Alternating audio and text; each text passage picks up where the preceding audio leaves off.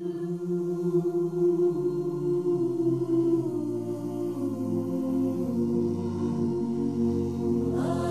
country, of thee,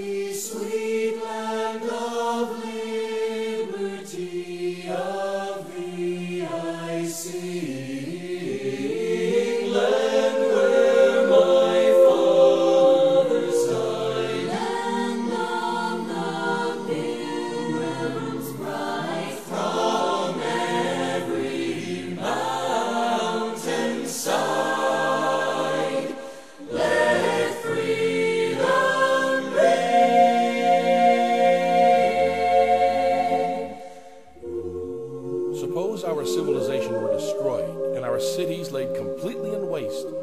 And suppose in 20,000 years an archaeologist from another society were poking around the ruins of your city.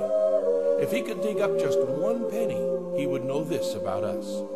The coin is made of a blend of metals. That would tell him we were miners and knew the science of metallurgy. By the shape of the coin, a perfect circle, he'd know we understood geometry. The date on the face of the coin would show him we understood arithmetic, that we had a calendar. The portrait of Abraham Lincoln would mark us as artists who had an advanced culture.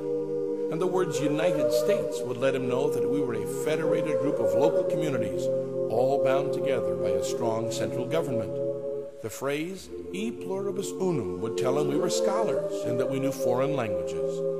The word liberty, right on the face of the penny, would let the archaeologist know that our country sought to guarantee freedom for every man, everywhere. And finally, that phrase, in God we trust. It would tell him we had a moral law, would let him know we had grown strong and mighty under God's great hand. And then, considering the penny, he would wonder, why did they ever go astray? Our fathers, God, to thee, author of liberty, to thee we sing. Let mortal tongues awake, let all that breathe partake, let rocks their silence break, let freedom ring. Long